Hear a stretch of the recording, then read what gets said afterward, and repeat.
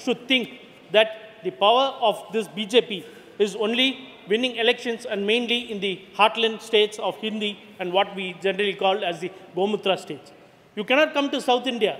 You see all the results of what happens in Tamil Nadu, Kerala, Andhra, Telangana, and Karnataka.